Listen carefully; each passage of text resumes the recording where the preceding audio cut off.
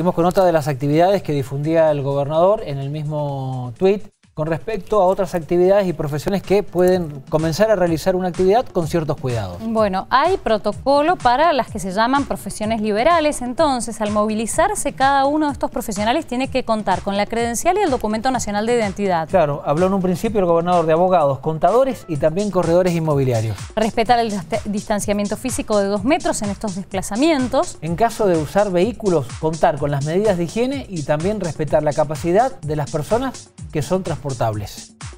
Algunos de los otros requisitos tienen que llevar, tienen que evitar las entrevistas personales y aquellas que sean imprescindibles solo se podrán hacer con turno previo. Esto es muy importante tenerlo en cuenta. Y otro punto fundamental, no se podrá pautar más de cuatro consultas diarias. Tampoco se podrá atender de manera presencial a personas en grupos de riesgo. Y ojo con esto, ¿eh?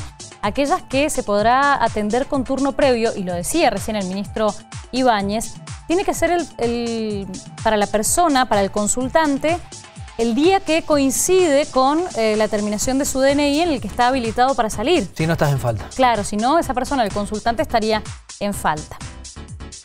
Se recomienda no recibir papeles en los estudios u oficinas, entre algunas de las recomendaciones, porque hay varias. Lo que sigue agregando el protocolo y empleados, profesionales y clientes al ingresar al local deberán completar la declaración jurada de salud.